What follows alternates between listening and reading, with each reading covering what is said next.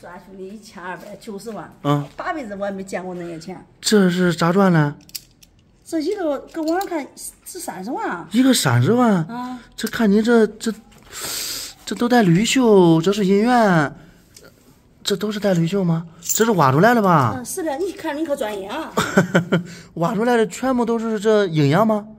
嗯，也有中国的，这是外国的。嗯，对对对，这确实是外国的，墨西哥的营养。搁搁周口的，搁咱中国的土地上光挖出外国的，不得值钱吗？物以稀为贵，肯定值钱啊！啊，你的意思是中国的多，外国的少？对，那总共挖出来多少块？挖了一百一十块，一百一十块。嗯，这这你分多少块？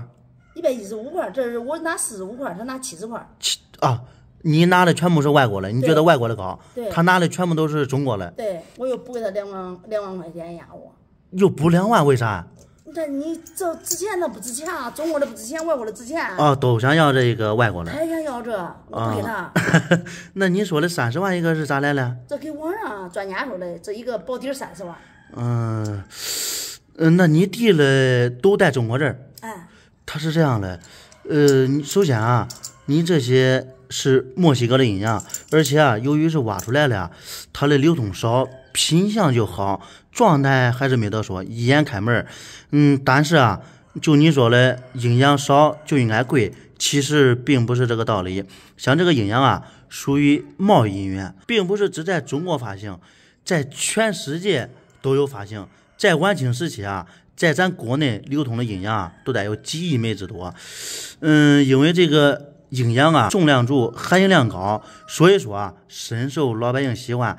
嗯，不止在中国市场多，在国际市场啊也多，造成呃它的价一直不高，这是一个原因。第二个原因啊，就是受众基础的原因。然后银元啊是咱国内的，大部分厂家啊都是中国人，中国人啊都喜欢呃国内的银元，自己的银元，反而啊使中国的银元都涨了很多。像这个墨西哥的鹰洋，法国的卓阳啊，价位一直不高。就你说的，中国的比鹰洋便宜，说的不对。中国最便宜最便宜的小头一个顶俩，没任何问题；大头一个顶仨。如果说再有龙，一个一条龙都是几千几万啊，你这一次绝对是没赚便宜，吃亏了。那银行说专家说三十万呢，搁网上。那些专家就是利用咱老百姓对银元知识不懂，给你开一个非常非常高的价位，吸引去当地。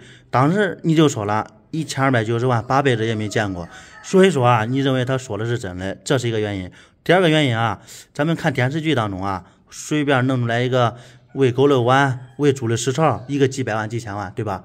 理所当然的认为他值钱，其实并不是这个道理。老板，你没有看错吧？这个绝对不会看错的，因为像这个都是最基础款，你可以经常看一下我的视频，这些东西都报的有价位。那看你这样，我听你这样说的头头是道的，那看你说的都是真的了。那是嘞，有啥说啥，那些都是骗人的。挖出来这个是喜事儿，但是可别被人家骗了。他们啊，并不是为了要你这些银元一千多万，而是为了你口袋的费用嘞。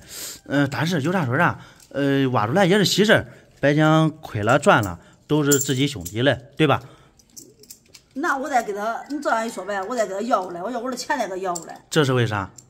啊，这我给他他要，我不给他他不能要，咋？这我不能，我再赔钱，我再弄啥东西？那赚他赚大发了，他那银元他再给我，呃，钱再给我，呃，等我研究好了，贵的是我的，便宜他的。那他能愿意吗？他说他说了算。那行，还是以家庭和谐为主。